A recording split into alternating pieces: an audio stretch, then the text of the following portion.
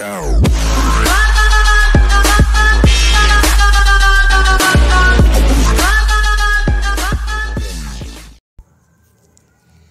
guys, today I will show you how to change the camera settings in Xiaomi Redmi Note 3. So let's get started. First you have to click on settings, then you have to go in system apps, then you have to go in camera. It is all the options. It is save location info. It saves your info about your location. Camera sound is on. It is all the settings about the device. Now let's move to camera.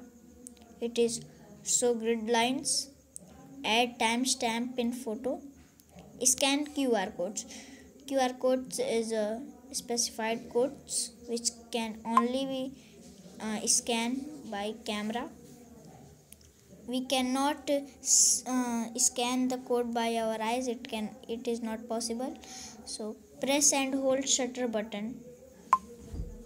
It is burst shot and focus.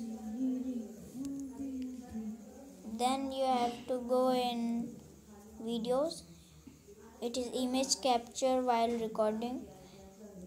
It is uh, a settings when you uh, capture when you record any of the video and then you capture it.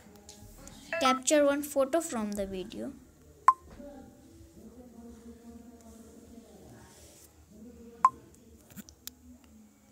So then you have to again come in settings.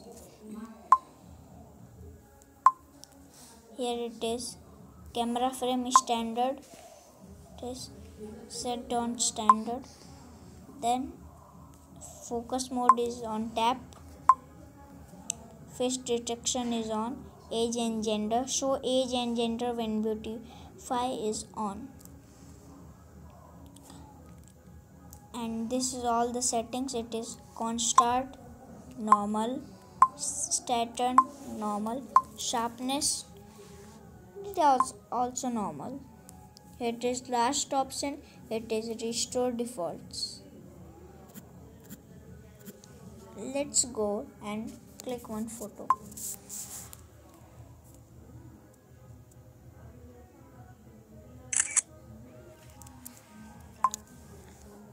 So guys how's that photo? It seems very good. Uh-huh. I know that the sharpness is very good. Thanks for watching. This is a video by akshans aman